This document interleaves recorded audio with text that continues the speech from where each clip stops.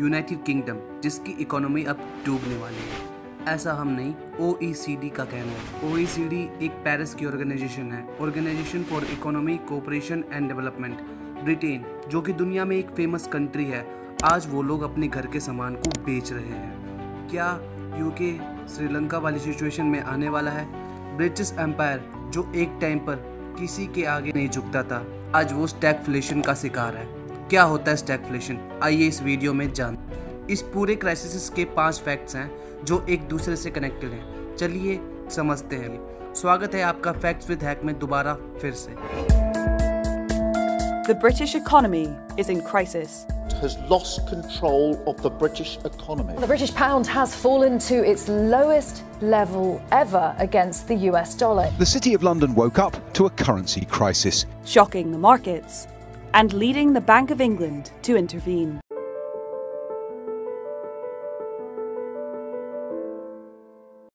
Fact number एक 2008 का financial crisis Japan export करती है कार यूएसए एक्सपोर्ट करता है वेपन और चाइना एक्सपोर्ट करता है वायरस तो यूके का मेन प्रोडक्ट क्या है, जिसकी वजह से यूके ग्रो करता है? यूके का मेन प्रोडक्ट है स्टेबिलिटी लंदन पिछले 500 सालों से स्टेबल है वॉर्स आए, गए वायरस आए, गए लीडर्स आए और गए, लेकिन लंदन की स्टेबिलिटी कहीं नहीं गई। ये स्टेबिलिटी दुनिया के बड़े बड़े बैंक्स को अट्रैक्ट करती है, जैसे कि H S B C Barclays Standard Chartered इनके बड़े बड़े हेडक्वार्टर्स लंदन में हैं। यूके की इकोनॉमी इन्हीं फाइनेंशियल सर्विसेज़ पर डिपेंडेंट है। 2008 के फाइनेंशियल क्राइसिस के बाद ये पूरे के पूरे कोलैप्स होने वाली थी। रिसेशन किसी को जॉब नहीं मिल रही थी और सॉल्यूशन लोगों के हाथों में पैसे दे दो डायरेक्टली नहीं, लेकिन इनडायरेक्टली इस चार्ट को देख यूके में जो होम लोन पहले 6.3 परसेंट में मिलता था, आज वही लोन 2.5 यानी ढाई परसेंट में मिलने लगा है। इससे क्या हुआ एज ए इंटरेस्ट जो पैसा उनके पास जाने वाला था, वो लोगों के हाथों में आने लगा। लोगों की परचेसिंग पावर बढ़ी। इसे इकोनॉमिक्स में क्वांटिटेटिव ईजिंग भी कहते हैं। और इसके बाद तो क्या लगा होगा आपको? लोन और बढ़ा? नहीं, बिल्कुल नहीं। और इसके बाद तो लोन और भी ज़्यादा कम होता गया। लोन का इंटरेस्ट 2.5 परसेंट से कम होकर 1.2 परसेंट पे आ गया। 2022 में यूके का इंटरेस्ट रेट 14 सालों में जो अब तक नहीं रहा, उसको रिकॉर्ड को तोड़ के ऊपर चला गया, जिसके लिए कोई भी प्रिपेयर नहीं था।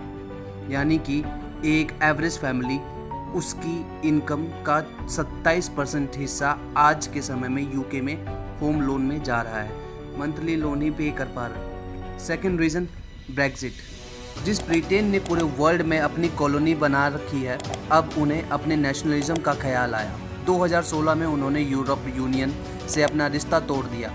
यूरोप का हिस्सा होने की वजह से ट्रेड इजीली होती थी। यूरोप के लोग आसानी से यूके आ जा सकते थे। किसी भी देश को आगे बढ़ने के लिए स्किल्ड लोग चाहिए, जो यूरोप में थे और वो यूके से यूरोप में आया जाया करते थे। और अब उसके नंबर्स कम हो चुके हैं। पिछले साल किसी पेट्रोल पंप पे फ्यूल ही नहीं था, क्योंकि ट्रक ड्राइव करने के लिए ड्राइवर ही नहीं थे। फ्यूल का ना होने का मतलब मार्केट में गुड्स टाइम पर ना पहुँचना, जिसका रिज़ल्ट मार्केट में आती है महँगाई। जिससे होता है इन्फ्लेशन ब्रेग्जिट और इंटरेस्ट रेट की वजह से यूके में कॉस्ट ऑफ़ लिविंग इंक्रीज हो रही थी. बीबीसी का कहना है कि आप इस चार्ट में देख सकते हैं कि कंज्यूमर इन्फ्लेशन 10 परसेंट भी पहुँच चुका है. ये इन्फ्लेशन होता किन वजह से इसके दो कारण है। चलिए समझते हैं। पहला, कि लोगों के पास बहुत सारा पैसा है और लोग चीज़ों को खरीदना चाहते हैं। तब ये इन्फ्लेशन बढ़ता है। और दूसरा, चीज़ों के मार्केट में पहुँचते पहुँचते उसका प्राइस बढ़ जाता है, जिसकी वजह से वो बहुत कम ही लोग खरीद पाते हैं। अब आते हैं स्टैगफ्लेशन जिसकी हमने बात करी थी।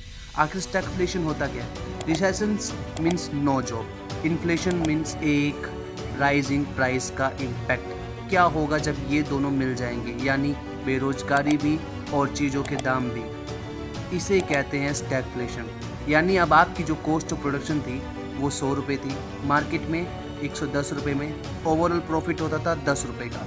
और आज की बात करें तो कॉस्ट ऑफ़ प्रोडक्शन हो गई है डेढ़ सौ रुपये मार्केट प्राइस एक सौ पचपन प्रॉफिट सिर्फ़ पाँच रुपये तो यहाँ पर कंज्यूमर को लगता है कि प्राइस बढ़ रहा है और कंपनी को लगता है उसका रेवेन्यू गिर रहा है, बल्कि यहाँ पे ये दोनों चीज़ें हो रही हैं। चौथा पॉइंट न्यू लीडरशिप यानी न्यू गवर्नमेंट कोविड आने से पहले, रशिया यूक्रेन के वॉर होने से भी पहले बोरिस जॉनसन की सरकार गिरने से पहले यूके की इकोनॉमी डाउन जा रही थी, यानी उस समय यूके की इकोनॉमी खतरे में आ चुकी थी।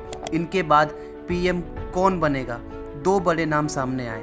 पहला हमारे ऋषि सुनक और दूसरे Liz Truss and Liz Truss become the P M of United Kingdom उन्होंने टैक्स कट किए डी रेगुलेशंस किए एंड रिफॉर्म्स किए। और यहाँ यूके पिघल गया। उन्होंने टैक्स कट पैकेज इंट्रोड्यूस किया, जिसमें कुछ पॉइंट्स कंट्रोवर्शियल थे। यूके में लोग अपनी इनकम का 45 परसेंट टैक्स पे करते थे। वहीं उन्होंने एक प्लान लॉन्च किया जिसमें डेढ़ लाख पाउंड से ज़्यादा कमाने वाले लोगों के लिए टैक्स कम कर दिया जाएगा। प्लस कॉरपोरेट टैक्स इनकम को बढ़ाने का प्लान बनाया गया, जो कि 19 परसेंट से अब 25 परसेंट तक जाने वाला था। गवर्नमेंट ने इसे होल्ड पर कर दिया।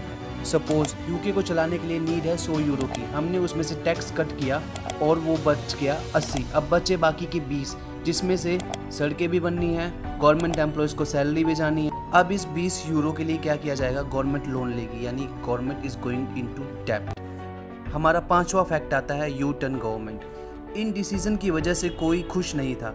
आईएमएफ खुश नहीं था इन्वेस्टर्स खुश नहीं थे। पीएम को अपनी सीट बचाने के लिए कुछ यू टर्न लेने पड़े।